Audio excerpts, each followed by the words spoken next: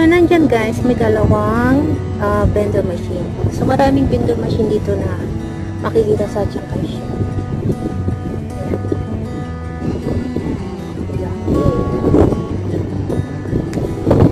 natin yung view sa taas.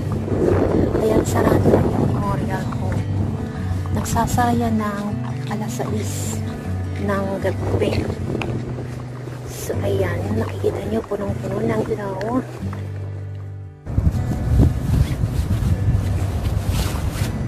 So, titignan natin kung pwede pa bang umakyat sa taas. Kung pwede pa, titignan natin yung view mula doon sa may Liberty Square. Kung gaano ba kaganda yung view nila rito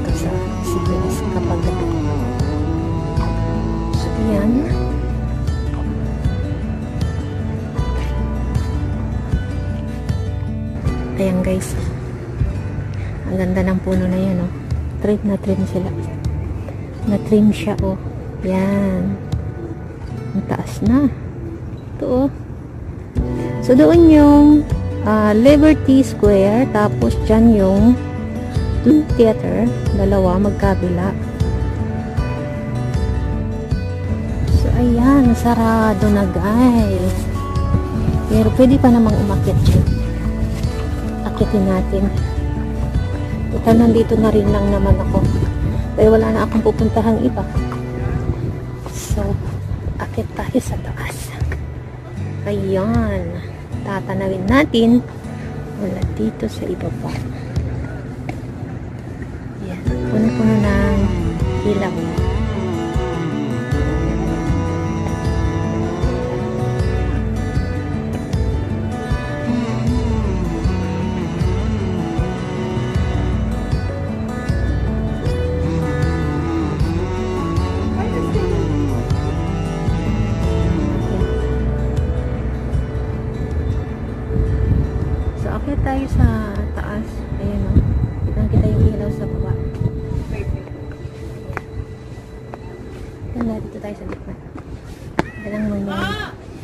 Nagpipicture taking. Okay. Ayun guys, pakita ko sa memorial hall ng ni Chiang Kai-shek. Ayun. Maraming steps itong mga hagdan. Ayan.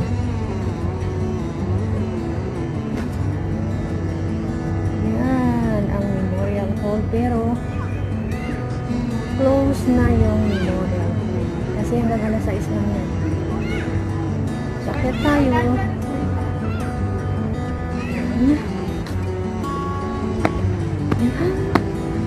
Ayan. Sa likod. Tignan nyo. Ayun. Kitin natin hanggang doon sa taas exercise na rin to. So marami pa rin tao dito na nagtatampay kahit gabi na. Madilim na kasi ah, winter pa rin ngayon. Kaya madaling magdilim yung paligid. Dahil malamig pa rin. Ayan.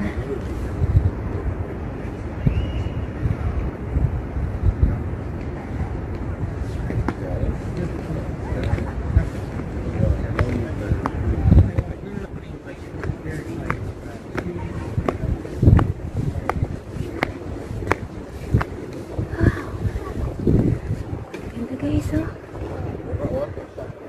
Ayan. Ah.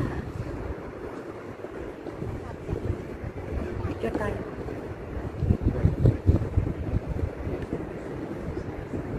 Ayun ang Liberty. Sa likod. So, ayan guys. Andito tayo sa pinaka taas ng uh, Chiang Kai-shek Memorial Hall. Pero yung ah, Memorial Hall ni Chiang Kai-shek ay sarado na. Ayan. Ginabi na tayo sa pag-iikot kanina dyan sa baba. Kasi ang daming mga bulak-bulak ng sakura dyan.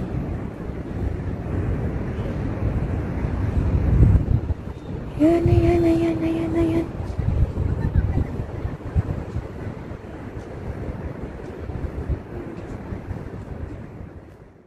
Kanina guys, dito ako umakyat. Ngayon, bababa naman ako doon sa kabila. Kasi may mga nagpipicture dyan. eh. Mga love, lovebirds. So, doon tayo sa kabila. Ah, bababa. So, may gwardiya dito sa taas. Ayan.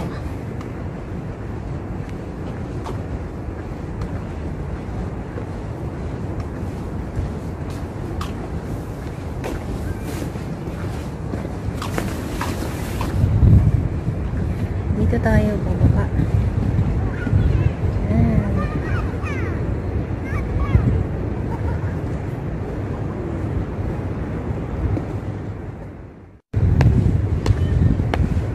Ayan, pababa na ako guys ha. Kaya ang dahan-dahan lang kasi baka matalisod tayo dito. Tapos pa.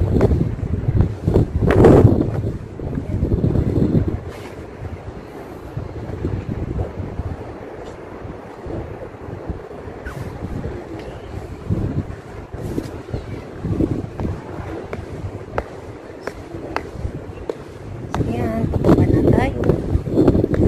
Ganda ng hangin. Mahangin Ayan.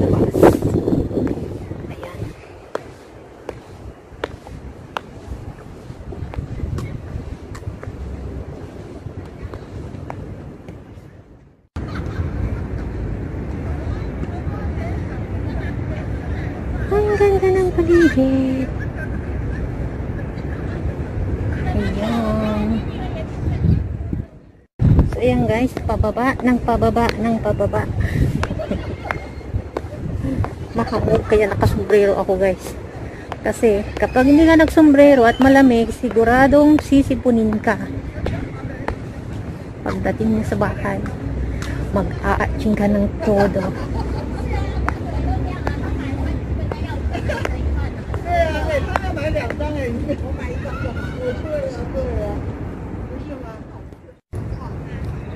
So, ayun guys. Tapos na tayong maglibot dito sa Chiang Kai-shek. Ngayon ay papunta ako doon sa may Liberty Square. Yo. Oh. Ano pa lang guys? 6.19, 6.20. 6.20 pa lang pero madilim na ang paligid.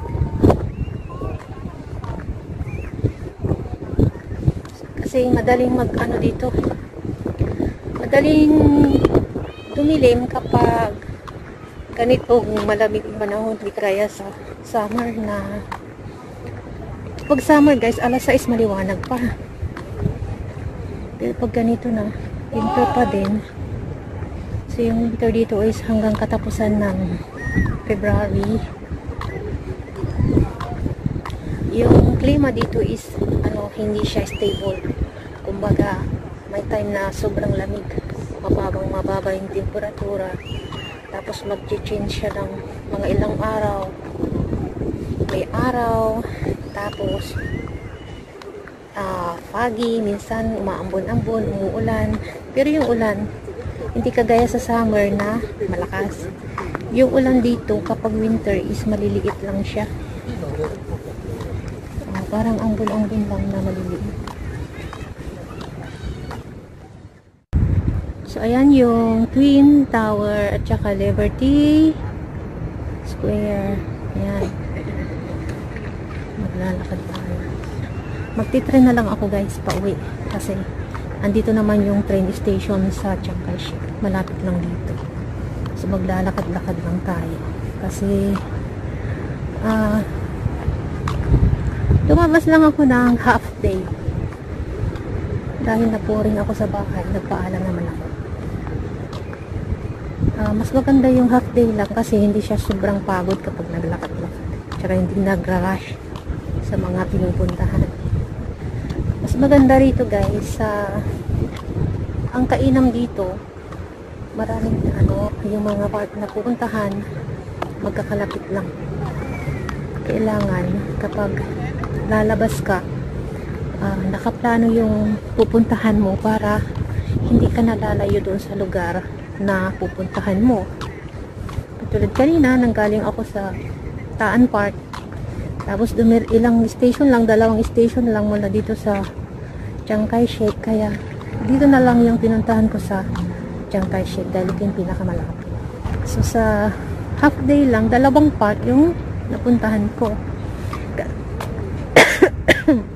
Excuse me. Ah, nagpunta ako dito sa Chiang Kai-shek kasi tinignan ko yung mga sakura dito kung may bulaklak na. So luckily, ah meron talagang bulaklak na. Ah, as in bloom pa rin, hindi pa rin siya nalalaglag. Yung mga kulay white guys, ah, ano na siya? Kumbaga may dahon na, may bunga na. Ang natira dyan is yung mga single pink light, tapos yung double pink na, pink na pink. Yun. So, saan na yung pupunta natin? Saan na yung friend? Wait a minute, kaping mainit. Saglit lang guys. Ah, doon. So, doon ang trend. Kasi dalawa ito guys. Malilito ka kung di mo to kabisado. Dalawa yung theater hall. So, yan. At saka, yaan. So, yung trend, ay, parehas din palang mayroong ano, yung bridge. Saan ako galing kanina? Wait a minute. Alam ko na kung saan ako galing kanina. Sa left side. So, doon ako galing. Doon yung ah, train station. So, doon tayo pupunta.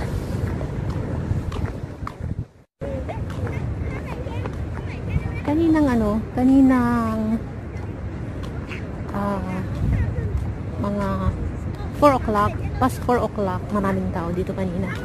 Tapos may nagpa-practice dito na mga banda. Dito sa harap ng theater hall.